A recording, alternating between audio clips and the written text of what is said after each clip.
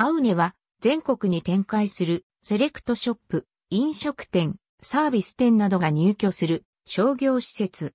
現在の商標権はオリックス不動産投資法人が所有している。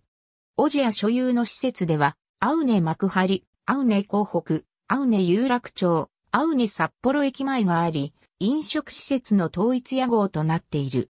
2008年春から千葉市、横浜市、熊本市の3都市に相次いで開業した。2008年夏に幕張と港北の2館は合同会社ジョイントアーク X01 が取得したと発表された。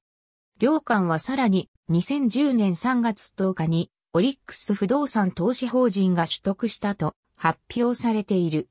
2013年から2014年にかけ、オジアの戦略方針により、オジアが取得した平成観光札幌駅前ビル及び、オレ有楽町をアウネにそれぞれ解消した。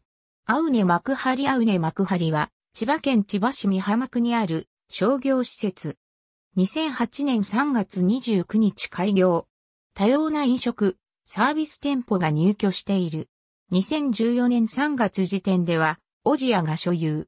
施設概要アウネ港北アウネ港北は、神奈川県横浜市都筑区にある商業施設。2008年4月26日開業。2014年3月時点では、オジアが所有。施設概要、アウネ熊本アウネ熊本は、熊本県熊本市中央区にある商業施設。2008年10月25日開業。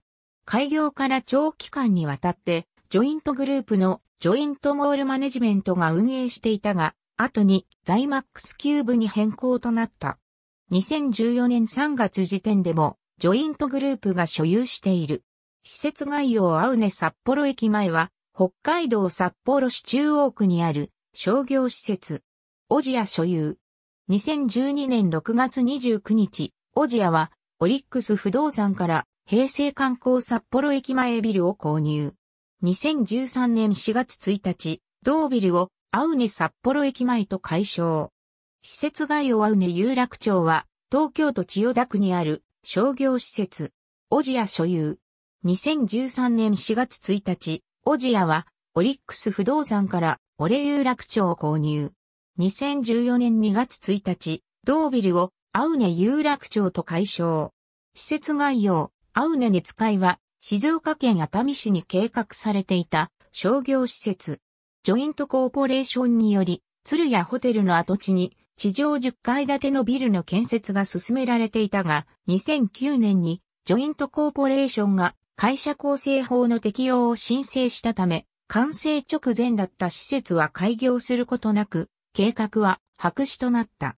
建物は長らく放置されていたが、2018年になって中国系資本によるホテル用途への転換が決定し、2020年に熱海パールスターホテルとして開業する予定である。